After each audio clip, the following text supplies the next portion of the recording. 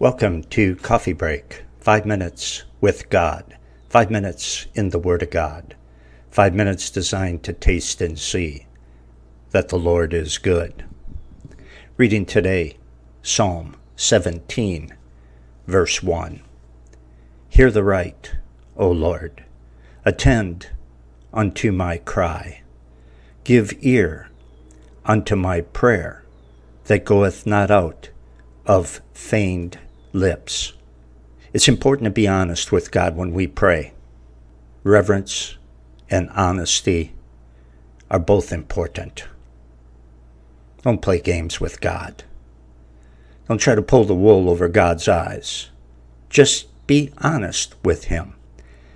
Tell Him what's on your mind in a respectful way, always.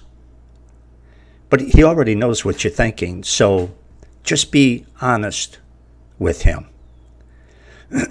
Verse 2 Let my sentence come forth from thy presence. Let thine eyes behold the things that are equal. So David has been falsely accused, and because of that, he is asking God to show everyone that he is innocent. That's very important to a man or woman of God their character is, their reputation is. Because if you, as a Christian, don't have good character and a good reputation for character, you've got nothing. Now, you can't help it if the world doesn't like you or if lukewarm Christians don't like you. I wear that as a badge of honor.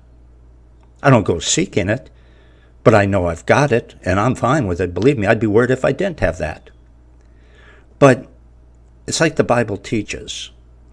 If people are going to slander you, if they're going to say bad things about you, things that accuse you of violating Scripture, just make sure that it's not true. Verse 3 Thou hast proved mine heart. Thou hast visited me in the night.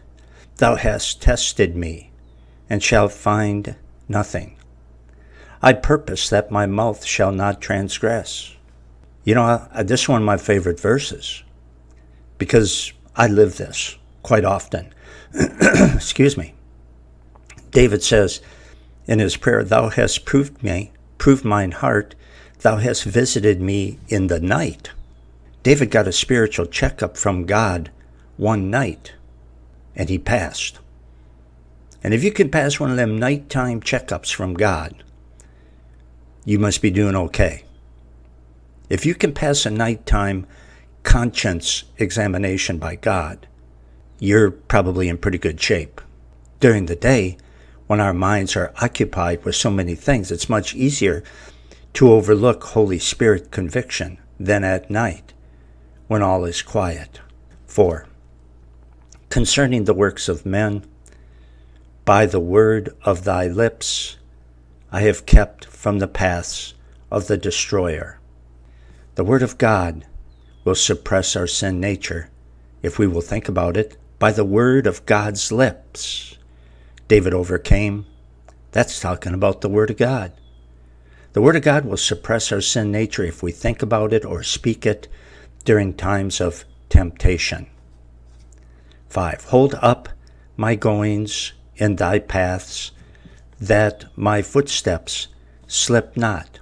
He's asking God to keep him on track so that he doesn't mess up. The best way to start each day is to ask God to help you not to mess up. And it's best to ask him before you even get out of bed. Out of time, if you want to continue studying the Word of God with me, you can. Study the whole Bible from Genesis through Revelation using my audio Bible messages at thebibleversebyverse.com. And if you would like to be a part of this ministry, pray for me, pray for God's Word. When you take a break from studying, click the donate button at the top of the front page at thebibleversebyverse.com and prayerfully give as the Lord may lead. See you next time on Coffee Break.